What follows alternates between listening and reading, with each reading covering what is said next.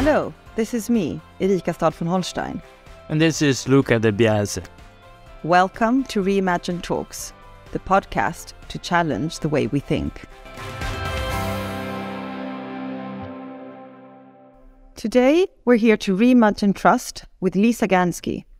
Lisa Gansky is a pioneer, a serial entrepreneur, and a best selling author. She's a model of the original spirit of the internet. She was a co founder of the first commercial website, GNN, acquired by AOL, and the first digital photography sharing and printing service, Ofoto, acquired by Eastman Kodak. Gansky is the author of the best selling book, The Mesh Why the Future of Business is Sharing.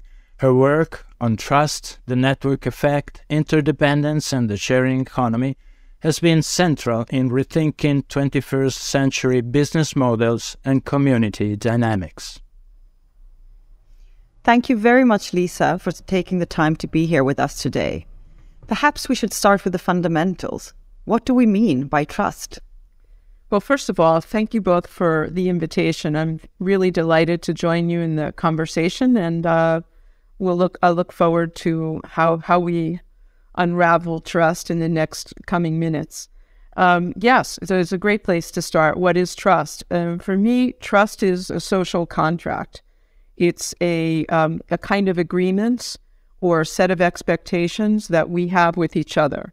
So um, it's really a way for us, and, and there's always a context. So maybe I trust Luca for driving, but I don't trust him for cooking.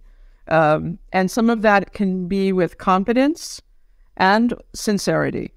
So there's these two parts when we think about trust generally um, of people or institutions. As for cooking, I agree with you, and uh, trust is always a difficult thing to give. Well, we are reading all the time about the crisis of trust. Uh, Edelman, Ipsos, uh, Gallup always talking about a crisis of trust. Why should we care? Why is it so important? Well, it's a great question, first of all. Um, and as background, I think that the world is changing faster than we can learn. So, what's happening is um, digital technologies have changed the way that we interact with each other. They've disrupted our face to face communications, our communities. And so we're now in this place of trying to reestablish uh, rules for trust. You know, if then else. What? How do we interact with each other? And we went from uh, in physical communities. We went from a place where we knew each other. We grew up in and generally were born and potentially died in the same community. So we had a reputation, families, all of it. Um, with transportation and digital technologies, we've continued to get more and more distant from each other through our lives. And that's really changed the way that we connect. So in the 20th century, institutions started to create forms of trust. If you think about things like banks and uh, reputation, credit scores, and things like this, um, we were relying on many institutions or brands to represent who or what we could trust. And many of those forms were centralized. They became more and more uh, developed and centralized as a way of scaling, as a way of becoming global, because we were very obsessed with this idea that if something works locally, it should also work globally. And so we see that with education, military models, factories. Um, many things became in the industrial age or in the 20th century very um, focused on scale. And now what's happened is those institutions are being distrusted. You know, they're they're no longer uh, considered necessarily uh, the the stalwart of of uh, trust and value. And so, th- and there's many reasons for that and many examples, which the reports that you cite uh, are do a great job of highlighting. But I think what's fundamentally happening is the way in which uh, we relate to each other has been really altered through technologies. And so we now, uh, for example, this podcast, we're in distant cities having a very thoughtful, hopefully, conversation together uh, having not really met. Um, and so for us, this is a, a fairly uh, intimate discussion, uh, well, about to hopefully not be that intimate. And, um, and we are uh, at the same time using the technology to, to um, reach many people and to engage people in a discussion. Um, for, for my taste as an entrepreneur and as a, as a technologist, the idea of using technology to engage more people and to scale uh, hopefully good ideas is fantastic. The issue, I think, is largely that society um, has moved quicker than the governing organizations. So technology moves quite quickly. Humans, uh, surprisingly, have adopted technology relatively quickly. But the laggard here is the way in which um, trust is gated and is generally, uh, in most instances, a laggard. And so we're um, we're out of sync. The it, I refer to it as we're in this very privileged, actually, and exciting place as an entrepreneur between no more systems that are collapsing and uh, institutions that aren't working and forms of trust that aren't working anymore and at the at the interface of not yet. You know, if you squint, you can see it. Uh, a lot of these systems, like blockchain, for example, has scaffolding around it. Um, you can start to play with it, but it's not yet. It's not fully baked. It's not something that people are ready to let go of one vine and grab onto the other one. And so we're in this inflection point between no more and not yet. I think it's exciting, but it makes a lot of people nervous. So, Lisa, um, if we try to squint a little bit and together look towards the future, how would you reimagine trust and where do you think we can go from here?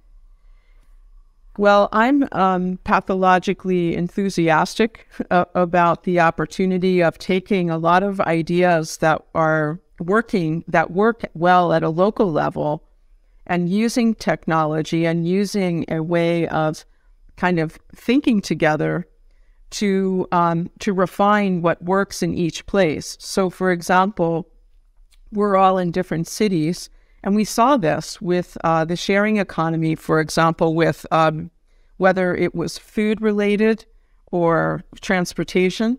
Uh, there's an organization called La Ruche qui dit Oui out of that started out of France. That was uh, the idea was uh, using having farmers actually be able to bring their beautiful produce and goods into cities so that people aren't shopping and buying only in grocery big grocery chains.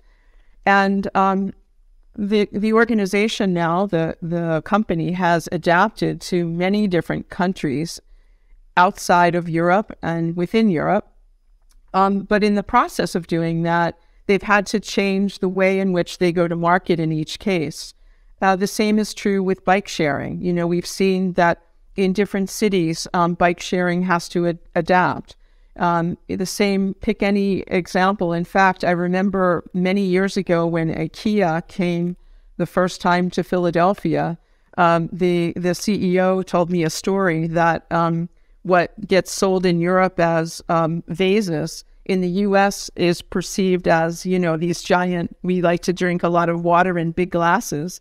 So vases in Europe were water glasses in the United States, and it, it, they thought it was extremely funny. So th- the thing is that the ideas can really work. Uh, we can learn, we, because the world is changing faster than we can learn, our really best uh, solution together is to figure out how to be pathologically curious and to create a, a learning engine so that we're constantly learning. And if we can do that at a local level and use technology to create more kind of peripheral vision to to see what's happening in other places and learn from each other, that's kind of the best of both worlds. And, and in the case of trust, I think um, you know, we're it's in the early days, but I'm optimistic that blockchain can be very helpful for that um, because it's actually designed to scale local in a way. It's a decentralized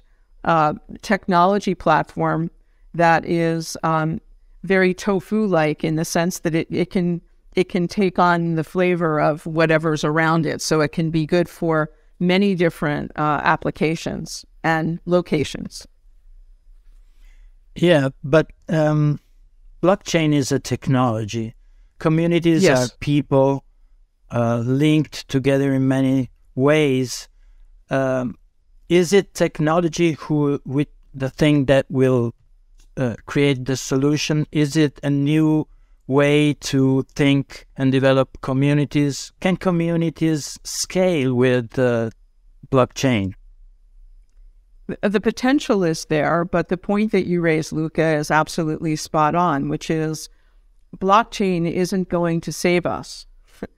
We have to we have to come together and acknowledge that we're connected. We're we're pathologically also connected. That the world is is one, and um, that the opportunity is for us to learn from each other, whether it's about climate change or trust or food or whatever the topic is. But I think that block, what I'm saying is that blockchain as a technology is um, fundamentally and uh, like architecturally decentralized. It's really just a ledger. It's it's it's a, you know, the accounting ledger was it's thousands of years old. The idea, but basically, what blockchain is allowing is a decentralized ledger that allows us to keep track of, uh, uh, you know, each interaction, but not it, it's not guarded in a central location. So it's not something that one company or one institution or one country uh, oversees. It's something like the original design of the internet, where it's much more, um, you know, local scaled. And I think in the probably the best example we have at the moment of something that of the in the direction that I, I'm thinking is the internet. And I think a lot of the people who were involved in early blockchain, that was their enthusiasm for it, was seeing um, a kind of reinvention of a lot of models for governance uh, that could be applied in many different ways, but using a technology like blockchain that would allow for everyone to participate much like a cooperative, but the complication of a cooperative is governance again. It, it, without technology is very localized, which makes it very difficult to to be anything other than local. So, uh, the answer to your question is no. The technology isn't going to save us, but we still we have to come together, and I think the technology can help us uh, learn how to create trust in the 21st century in a way that will be more uh, like what we actually need and how we're living and working today than the old institutions from the 20th century.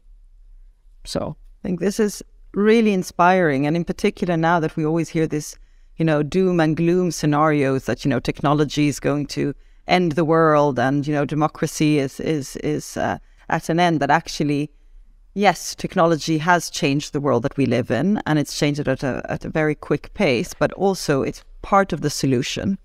Um, and, and the solution obviously has to be deeper than just reinstating the old forms of trust, but it's actually about inventing a new way to rebuild trust. And one of the things that you know you have been writing a lot about, you know, the sharing economy and your vision for the future is really an econ- economy that is based on trust. And the problems we're facing today, whether it's you know climate change or a global pandemic, you see it more and more. The problems are also growing in scale from local level to, to global level. Um, what do you think will be the biggest challenge in moving from, you mentioned before, these you know networks of trust that were built on families and relations and actually knowing each other um, physically to having similar networks but with millions, maybe billions of people across the planet uh, where you don't know each other and you can't see each other. Um, what do you see as the biggest challenge in, in moving uh, and transitioning into this new form of trust? Well, that's a, that's a quite the question. Um, you know, I think that. thank you for that. I think. Thank you. I think. Um, you know, I think that one of the one of the underpinnings of trust, especially in this situation, is empathy. Um, and I and I think that for me, one of the observations I have about building empathy um, in strange situations where I'm uncomfortable, the gateway is curiosity. Um, and so I think that the the opening for us, you know, we have two choices. The world is unknown. You know, the world is changing faster. We really don't know what's going to happen next. And um, we have two choices. We could be afraid or we could be curious. And so, you know, my uh, provocation and, in, and invitation to people is to be curious, to try to understand, um, you know, why is this happening? Why does this person have that opinion? Um, what can I learn from them? What are they seeing that I'm not seeing?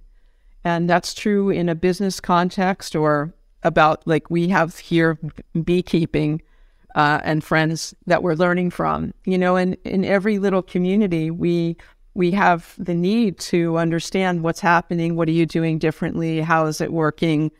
Um, and I think that that's true in in almost every aspect of life these days. So I I feel that um, uh, it's quite a challenge for us to to remake ourselves, but I also think it's very historically unusual to be in this inflection point between no more and not yet, because we're the people that can help to shape and accelerate uh, the not yet and and make it more real. The alternative is to cling on to the no more and cry as it dissolves. You know, uh, so I'm I'm a fan of of the former, um, but I think your question is very uh, complex in a way because there's there's different levels of you know who gets who engages and one of the things actually that we've seen with a variety of institutions um, working towards 21st century governance and models is that it's really important to engage the people that we refer to as the shapers. You know people for example who are in compliance who are trying to manage the the fraud or the the distrust, um, and include them because they realize also that the world is changing, and um, they we need them to participate, uh, not just to say no. So um, so I think that that's also a really important piece. Is no matter where you are in the in the community or in the organization, um, participating is is fundamental because trust is fundamental, and we actually want your perspective. You know, we want why do you make that face? what do you think isn't going to work? Um, so that we engage people. I think that's our really only chance. As you can imagine, at Reimagine, we are also generally positive towards the future, but we our starting point is the need to reimagine our basic concepts and to think outside the box and to really uh, dream of something different. You mentioned the importance of curiosity beforehand. How important do you think courage will be in the next year to actually dare to do this leap? I love that question. Um, and I think that it's courageous to ask it. And, um, um, and I believe that, you know, we, my personal opinion is we're seeing certain types of crises accelerate beyond even what we thought scientifically would happen, whether it's, you know, the relationship between pa- pandemics and climate. You know, there's been a lot of bad news in the last three to five years. I mean, relatively bad news after a relatively stable period, especially for us in the West. So I think that um, the the more the hotter the water becomes, the more likely we are to develop carriage because the alternatives are uh, kind of unsustainable conspicuously. And so, for those of us that have been kind of bellwethers or early in the conversation about what whatever it is, climate or technology or or just you know inequality or pick a topic, um, I think a lot of the the symptoms are have been brewing, but the the pain is increasing. And so I think that the pain the more the pain increases, the more courageous we'll be because what's the choice? What's the alternative? The alternative isn't comfort anymore, it's discomfort. Um, and so being human beings, which are basically walking nervous systems, um, you know, I think when our nervous system gets to a point where the pain point hit, this says, okay, um, basta, uh, you know, then we jump.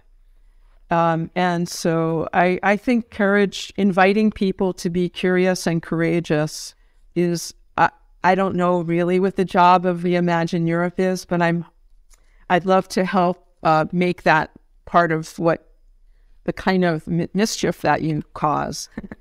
um, because I think that the opportunity is for really reimagining and reshaping is is absolutely this is the right time, you know, and um, and trust is is an underlying currency, uh, which um, you know I think Erika you you had mentioned earlier when we were talking, um, and I think that it is a currency. It is a kind of a currency that is an, an entry ticket to the game in many cases, and and so you know we're building a community. We, we have a local phenomenon, which is all these different cities and communities throughout Europe. Um, at the same time, you know, we we realize that um, every community is different, all the, the culturally, uh, geologically, climate, etc. But I think the opportunity is is right here for us. Um, and reimagine Europe it seems like like as a meta community and a convener of really interesting conversations. Um, just a, a wonderful I'll use my instigator, you know, uh, and convener of of something that could really provoke um, change. So more than anything, it, you know, um, if we could provoke change or accelerate and learn from each other and use your platform uh, that you're shaping to to do that, I mean, how much more? What else? What other value is there? you know. Thank you very much for these words. Yes, let's I'm absolutely going to take you up on that. So be careful. Let's reimagine not only trust together, but let's also start reimagining the future. Because I agree, if we have courage and curiosity and are working together, we could do something amazing of this new digital global world that we are um, creating. Thank you very much, Lisa. Thank you again. Thanks for the invitation, and I'll really look forward to meeting some of the people in your community.